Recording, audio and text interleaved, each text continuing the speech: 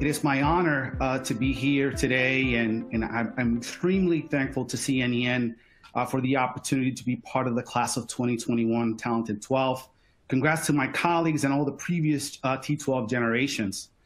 I have uh, the great privilege to give you a snapshot of my journey towards a sustainable future for all through the lens of materials chemistry. And it all starts uh, back when I was in public high schools in Puerto Rico and in Bronx, New York. Uh, not only I was exposed to great teachers, great mentors, but also it was also the opportunity for me to learn English and Spanish that saw me really well throughout my entire journey. I also generated love for music like salsa and hip hop that later transformed into reggaeton. And if you want to know a little bit more about the generations that uh, migrated from the Caribbean to New York City, dreaming big and asking questions later, you should definitely check out Lin Manuel's Miranda's in the Heights that had just recently uh, premiered. Now, this journey was habilitated uh, by the sacrifice, uh, by the dedication, by the love, the empathy of my family. And as you can see, my family might look a little different, but I see perfection. Uh, later down the road, uh, I had the great fortune of becoming the husband of Dr. Yvonne Ferrer La Sala. Uh, she, in my opinion, is the most talented analytical chemistry in the world.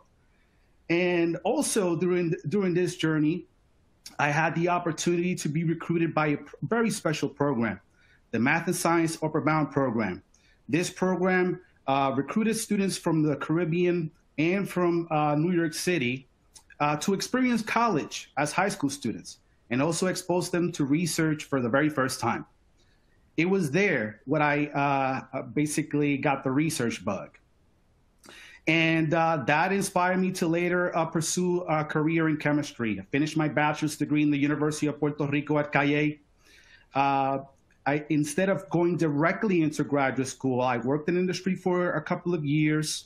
And but during those times, I was always daydreaming about all the research experience I had back uh, in uh, in math and science Upward Bound program in Buffalo, but also through an REU program. And it was then that Professor Luis Colon in the University of Buffalo wrote me an, wrote us an email to me, Yvonne and me and said, hey, there's this program called NSF the Doctorate Fellowship, and you guys will be perfect for it. We applied, we got the fellowship, and it so happens that around that same time, Professor Sarbajit Banerjee was beginning his uh, program on materials for thermochromics as well for batteries.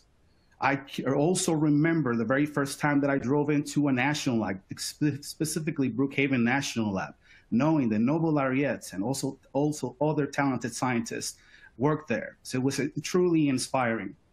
Once I finished my PhD, I got again the opportunity to go to a really special place.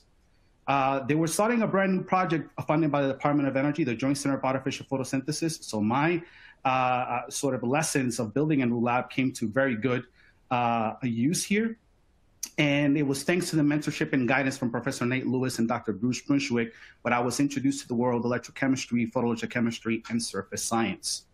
I just, I just want to note that it's programs like uh, Upward Bound, NSF Bridge to the Doctorate, NASA Harriett G. Jenkins, Ford Foundation Fellowships that gave me the opportunity to have the access and the resources to now have a program of my own at the University of California, Davis. So basically living the dream. Now, like uh, Ray Charles uh, saw Georgia on my mind, I've always had Puerto Rico on my mind. And the reason why is because Puerto Rico is located in the Caribbean. This means that every year, uh, Puerto Rico is susceptible for the passing of hurricanes. When a hurricane hits, often electricity and access to clean water becomes a commodity. And in the words of uh, my PhD uh, candidate, uh, Kavian Ritter, we now have the opportunity to be intentional on how and why we design materials. Materials that are going to give us access to perhaps a net, a net zero emission and a climate resilient future. We've seen some examples here where, for instance, in the world of energy, photovoltaics are now providing us cheap electrons, cheap electricity that if you ask a catalyst conocedor like me, I'm immediately thinking about the opportunities to electrifying chemical synthesis and impacting uh, the uh, industries like transport and food security by uh, electrochemical reactions. Now, in my group at UC Davis, we are designing materials, characterizing them, and fundamentally understanding what do we need to do to establish the right type of structure function correlations for the functionality that we would need in the world of energy as well as water remediation. We combine chemical intuition and uh, theoretical and theoretical calculations through very important collaborations for us to expand the library of new materials as well as understand their functionality.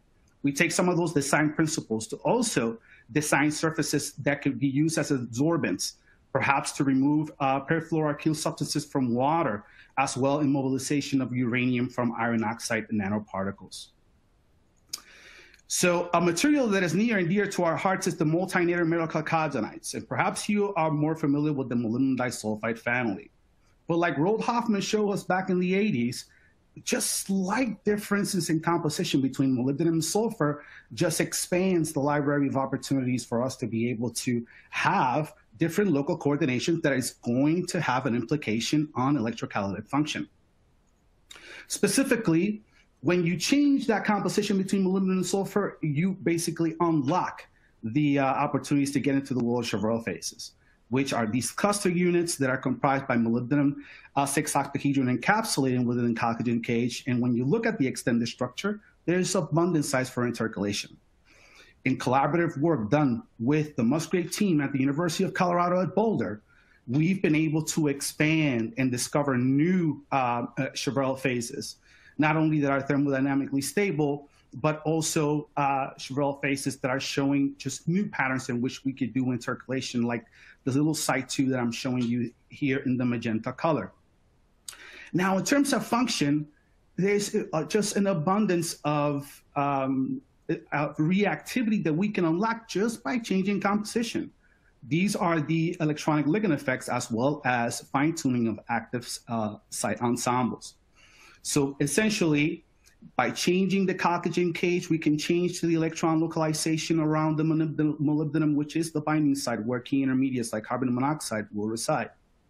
We, uh, we could also monitor the charge transfer from the intercalant into the chalcogen cage, as well through electrostatic interactions, uh, uh, impact bonding configurations that will hopefully allow us to uh, impact uh, selective reaction trajectories in the world of, for instance, CO2 reduction or the reduction of hydrogen uh, um, to uh, the reduction of protons of hydrogen to produce hydrogen. So, so far, we've been able to synthesize materials across different dimension, uh, dimensions, as I, have been able to show, use machine learning and theory to inspire our, our journey but also we're looking at ways of perhaps changing the stoichiometry of the intercalant and inducing semiconducting properties. We're essentially putting together the building blocks that perhaps will give us heterostructures that will allow us uh, to do very interesting electrochemistry and photoelectrochemistry. Now, how are we doing this? Well, we're using fundamentals of solid state chemistry to carry out the synthesis, but we're also using a hot pocket microwave to do this. And it's pretty remarkable the high temperatures and the high purities that we could attain uh, through these syntheses. I say we, but the real uh, uh, the, re the real superstars here are Jessica and Joe, who have been able to, uh, through microwave uh, solid state synthesis, have been able to unlock a library of different compositions, different intercalations, substitution uh, within the molybdenum 6-octahedron, as well as changing the dimensionality. Through the collaborative work that we've done with uh, the Musgrave Group at the University of Colorado, we're also looking at theory and how it can inform some of the reactivity trends that we're seeing in our lab at UC Davis in terms of electrochemistry. I'm highlighting specifically here how the identity of the intercalator is impacting uh, the production of methanol from, from the electrochemical reduction of CO2. So uh, thanks to the work by uh, graduate student Nick, we are uh, designing uh, descriptors that are informing us in the laboratory of the kind of changes that we need to be able to do uh, for us to be able to trigger the active and selective uh, electrocatalysis that we are of interest. Uh, we also have the great fortune of having uh, access to the molecular foundry in the Stanford Linear Accelerator Lab and students like Forrest and Brian are using X-ray absorption spectroscopy fundamentals to try to understand how perhaps this uh, oxidation state of uh, some of these molybdenum centers change as a function of, of, intercalation. As you can see here on the bottom left spectra, there's little to no change. The spectra looks pretty normal in terms of X-ray absorption spectroscopy.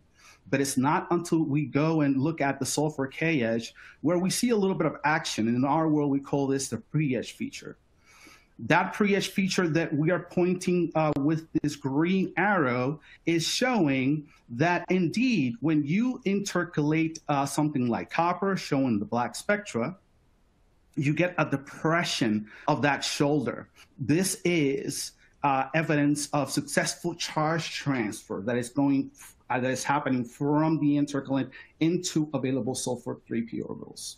This is important because it's a spectroscopic, a spectroscopic feature that uh, going to allow us to monitor charge transfer within uh, uh, the material that will later uh, help us control the intermediates that we'd like to improve activity towards CO2 reduction.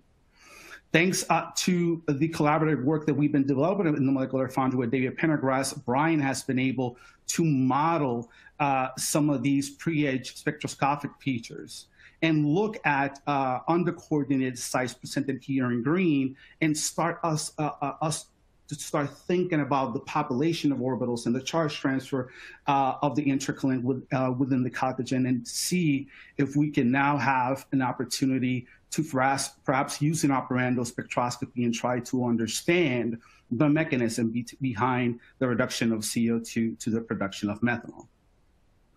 With that, I would like to take funding, uh, specifically uh, projects uh, funded by uh, the NSF and the Cottrell Scholars Award. I've been truly fortunate uh, to have the support from the solid materials chemistry program as well as CBET catalysis, all of the collaborators, uh, Stanford Linear and Molecular Foundry.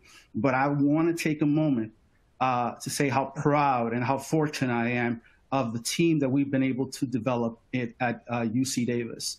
It's a team that believes that, that we could lead, that we can follow, that we could do team science, uh, considering that uh, empathy and rigor can coexist.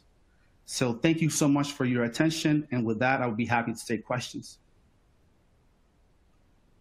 Thank you for that wonderful talk. And since you ended on empathy and rigor coexisting, um, it sort of ties into what I wanted to ask you about, which is um, that my impression is that you're very committed, in addition to your academic work, to helping to foster the next generation of science scientists.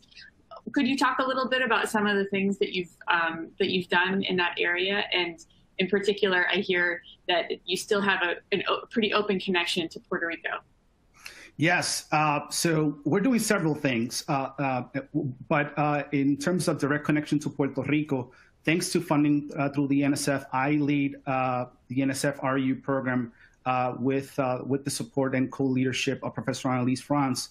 And I usually I go once a year to different university Puerto Rico campuses and talk about my journey, talk about the science that we do that we do, and uh, we try to provide that same sort of first opportunity I got uh, and ignite uh, research opportunities. Uh, uh, uh, basically in the United States, specifically in UC Davis.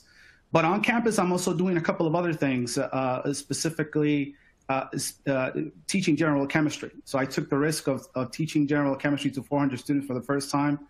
Uh, um, year one wasn't so great, uh, but but uh, but luckily, uh, with the guidance of Professor Bryan Enderle, I was able to really get an understanding on how to teach the masses. And and now we have co-classes that are helping first generation low income students uh, deal with the situation of having perhaps some uh, learning deficiencies, but at the same time having the the support, the belief that they are that, that they fit within the uh, within the structure. Doing all that in parallel, and and we're seeing uh, uh, some some great uh, students excelling thanks to these co-classes. Wonderful. Well, thank you for sharing that with us, since it didn't get squeezed into your talk. So, yeah. thank you so much, Jesus.